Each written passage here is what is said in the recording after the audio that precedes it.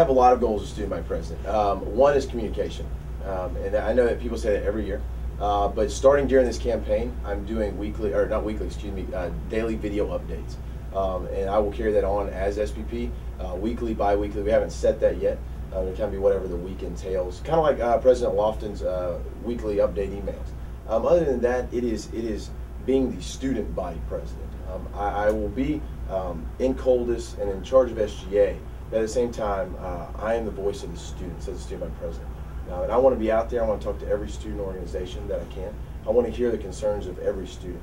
Um, and that, that is my job is to voice those concerns. Another goal is tuition, uh, uh, how much uh, that may increase next year. To fight that, keep that as low as possible.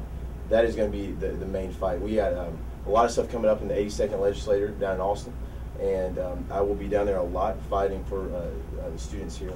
And so keeping tuition as low as possible will be another one of the goals.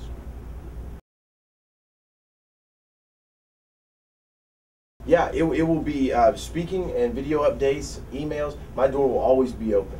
Uh, it will always be open to every student that wants to talk. Uh, from early in the morning to late in the evening. I have no hours. Um, I'm, I'm, always here and always open. Uh, I am willing to meet with anybody that's got concerns, anybody that wants to come and talk.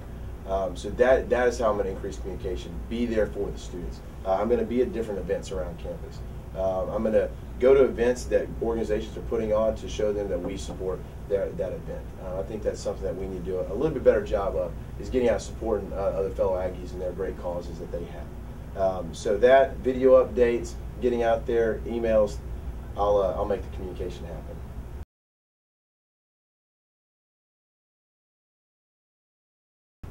As I touched on this past year, I did get to serve in the role of student body vice president.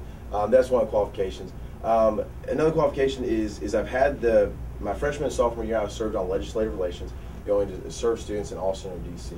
Um, but other than that, within my role as, as vice president this year, I've been able with things like bonfire to lead um, things outside of SGA, and so that I feel equipped and, and ready and able to lead uh, the student body with that.